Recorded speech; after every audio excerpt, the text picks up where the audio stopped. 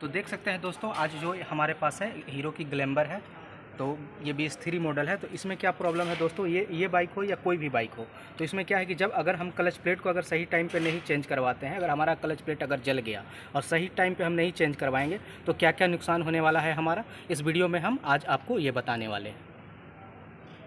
नमस्कार दोस्तों, गौतम ऑटोमोबाइल में आपका स्वागत है। तो देख सकते हैं, आज हमारे पास है हीरो की ग्लैम्बर तो इसमें जो मेन प्रॉब्लम है दोस्तों, आज बात करने वाले हैं इसके हब सेंटर और क्लच प्लेट पे कि क्यों हमारा क्लच प्लेट जल जाता है बार बार और जलने के कारण होता है कि क्या होता है कि क्या क्या हमारे हमें नुकसान झेलना पड़ता है। जहाँ क्लच प्लेट अगर हम हमारा सात सौ रुपया का जहाँ नुकसान होता है, वहाँ पे हमें दो हज़ार का नुकसान झेलना पड़ता है। तो देखिए मेन जानकारी ये है कि मैं आज इस पर बात करने वाला हूँ, इसके हब सेंटर और प्रेशर प्लेट पर तो देख सकते हैं दोस्तों, ये क्या था? ये ग्लैम्बर है, देख सकते हैं, ये ओपन है, पूरा का पूरा देख सकते हैं, इसका हाफ़ इंजन का काम था।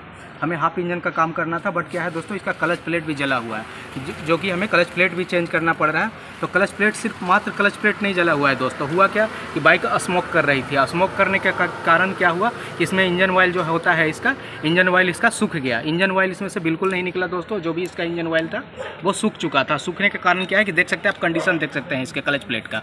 जड़ा सभी ये गीला नहीं है, आप देख सकते हैं। और क्या हुआ दोस्तों, इसका जो हब है, ये देख सकते हैं सेंटर जो है सेंटर किस तरह से बिल्कुल कट चुका है। देख सकते हैं ये सेंटर भी इसका नुकसान गया कट चुका है उसके बाद इसका क्लच प्लेट तो कटा हुआ है ही। प्रेशर प्लेट का भी आप कंडीशन देख सकते हैं कि प्रेशर प्लेट का भी कंडीशन काफ़ी बुरा है। ये भी हमें चेंज करना पड़ेगा ये भी नुकसान गया।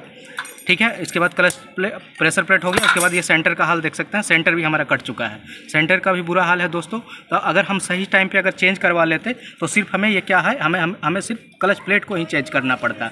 ये जो आपका ये सेंटर कटा और ये जो हब कटा और जो प्रेशर प्लेट का जो प्रॉब्लम आया, ये प्रॉब्लम नहीं आने वाला था। बट क्या किए हम इसी कंडीशन में बाइक को चला रहे थे।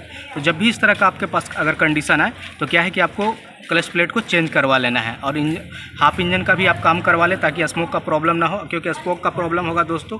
और इंजन ऑयल इसमें से कम होगा तो क्या होगा कि इसके क्लच प्लेट को जलाएगा। उसके बाद जितने भी इसके स्पेयर पार्ट्स है, वो सारी चीज़ को अगर हमारा इंजन ऑयल नहीं रहेगा तो लुब्रिकेंट नहीं कर पाएगा। और लुब्रिकेंट इस कंडीशन में अगर नहीं कर पाएगा तो क्या होगा कि हमारा एक के बाद एक सारा स्पेयर पार्ट्स खराब होगा दोस्तों।